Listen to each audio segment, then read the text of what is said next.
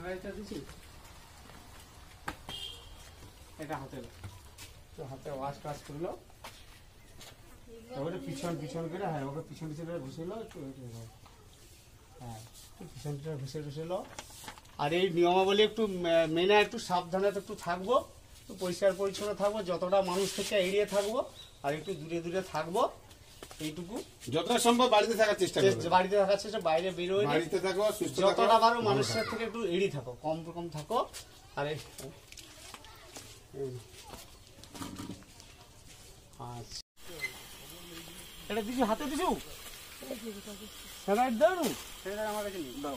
তোমার একটা একটা দিবি তো একজন কি সকলকে দিবে? ধরো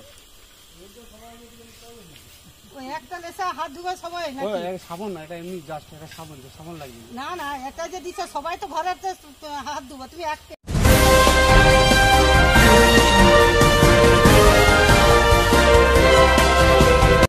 সতেরো নম্বর ওয়ার্ডের নেতাজি সংঘের পক্ষ থেকে এই যে সারা ভারতবর্ষব্যাপী যে লকডাউন শুরু হয়েছে কারণ করোনা নামক যে ভাইরাস সারা পৃথিবীকে গ্রাস করতে চাইছে তারের বিরুদ্ধে লড়াই করার একমাত্র পথ আমাদের ভারত সরকার তথা রাজ্য সরকার যে প্রয়াসটা নিয়েছে, আমরা সাধুবাদ জানাই।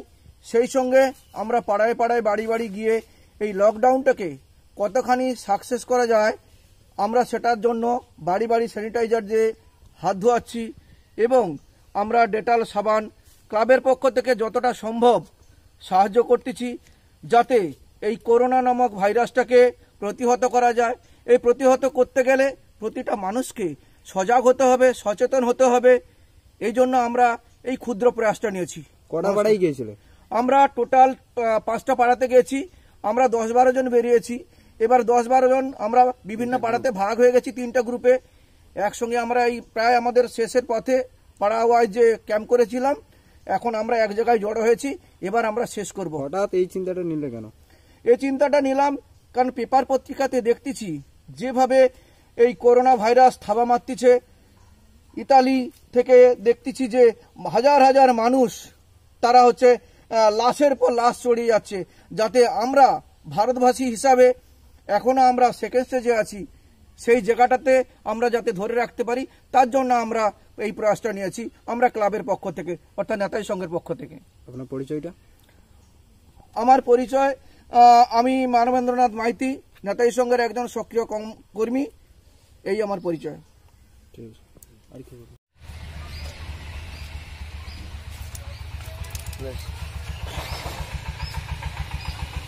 খাওয়াইলে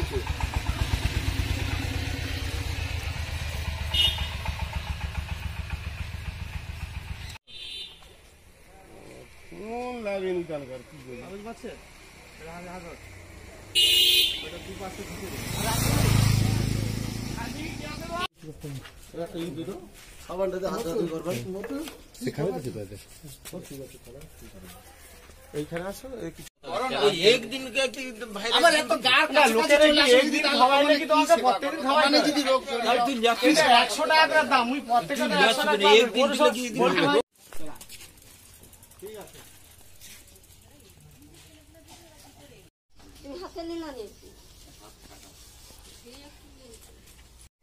এটা পিছনে এটা নাই হাত ধুইলে ঘষি। এটা নেই। হাত একে এটাই হাত হয় এটাই হাত যদি কোনো প্রবলেম হয় সরাসরি এটা দিছু হাতে দিছু? স্যালাইড দাও সেটা আমার কাছে নেই। দাও তোমার একটা একটা দিবি তো সব একজন কি সকলকে দিবে ধরো